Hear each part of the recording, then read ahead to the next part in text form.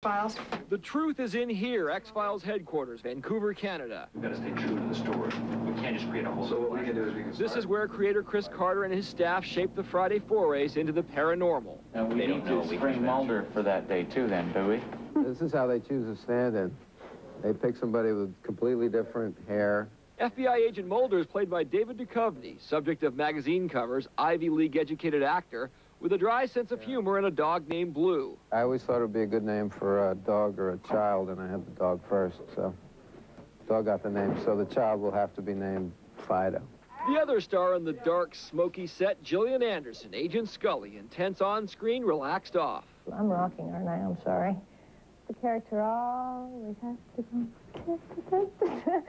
the character always has to go back to her roots, which are in physics and medicine and everything, and, and that keeps the balance of the show going. Because if we were both running around believing everything, there just wouldn't be high drama. Drama, as they say in Canada. Well, there's no love interest between Scully and Mulder. Carter revealed to CNN Duchovny's character will get a girlfriend, maybe a new FBI agent. Let Mulder have an outside interest, uh, a girlfriend. Let's go to another country. Let's let's uh, see. Let's take it into a courtroom. Let's let's you know take evidence and go somewhere else with it rather than going to my FBI boss. 64 Delta, take one. A mark. The soundstage is where most of the shooting takes place, home to Workaholics Anonymous. One of the mottos on the X-Files set, sleep is for wimps. Not only do they work long days, routinely 15 hours, but they work 10 months out of the year.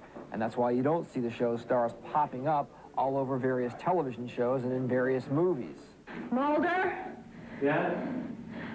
What's happening? Did you find her? It gets to that point at, at some some points in the year when, when we've got heavy episodes and we're just, you know, shooting hours and hours and hours and hours and hours and hours and hours of stuff.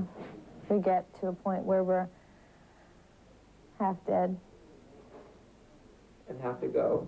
and have to go. There's constant motion at X-Files headquarters and unending irony. Carter celebrated his birthday on Friday the 13th. On this show, every day is Friday the 13th, actually. Bizarre happenings are met with religious fervor by some X-Files fans. It's a show that, that it's dealing in you know metaphysical terms. It's dealing in things that that you can't see or, or touch. So in that sense, it's spiritual.